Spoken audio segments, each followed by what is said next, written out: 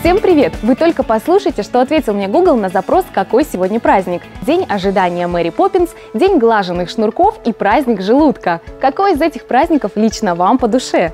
А, последний-последний. Все мы любим вкусно покушать и даже не отнекивайтесь. Кстати, не только мы любим вкусно покушать. Сейчас будет звучать жутко, но всякие жучки, комары и клещи тоже могут устроить себе праздник желудка с помощью нас с вами.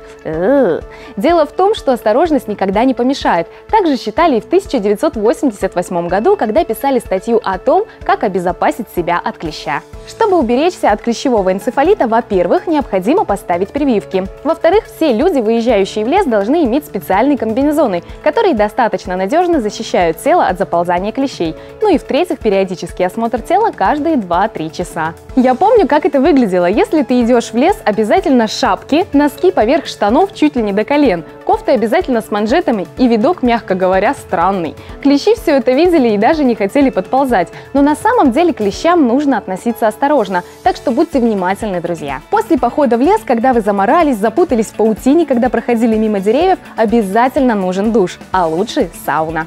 Недавно на цементно-горном комбинате открылась сауна. Любовно со вкусом здесь отделана каждая дощечка. После парной такая благодать окунуться в бассейн или встать под душ. И первые, кто услышал поздравления с легким паром, стали рабочие цеха. Оказывается, сауна – прекрасная возможность снять стресс и нагрузки после тяжелого рабочего дня.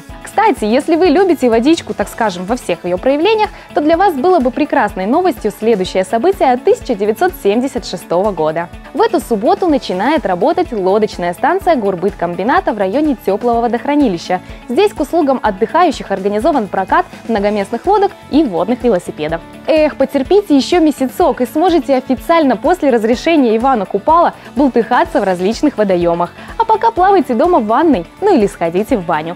Всем хороших выходных, увидимся на следующей неделе. Пока-пока.